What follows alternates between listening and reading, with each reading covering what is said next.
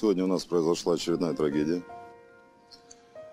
А, Я подтверждаю гибель Михаила Толстых с позывным Гиви, как все его знали, командира батальона «Сомали». Это произошло в 6 часов 12 минут. Был теракт. А, На месте трагедии работает следственная группа.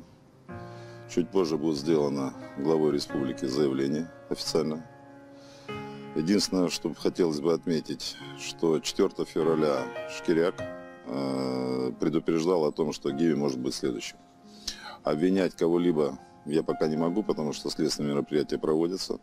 Но я подозреваю, что это все-таки та политика по уничтожению лидеров как ДНР, так и ЛНР, которые предпринимает Украина. Она продолжается. Это смерть Миши – это тому подтверждение.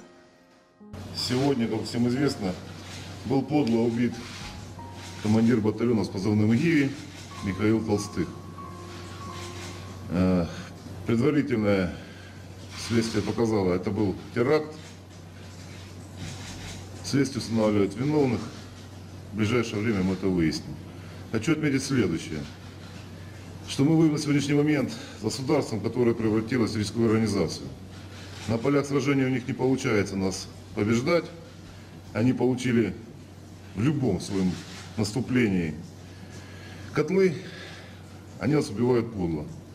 Обращаюсь ко всем украинским властям, военнослужащим, всех вы нас не перестреляете, мы будем приходить к вам мертвые, и все равно мы вас будем убивать. Вы нам дали на это сами право.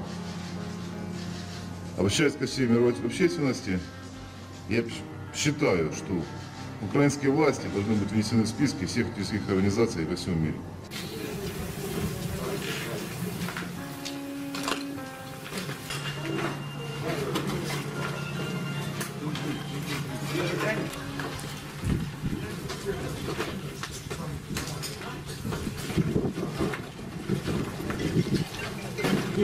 Собирайтесь, выезжайте сюда.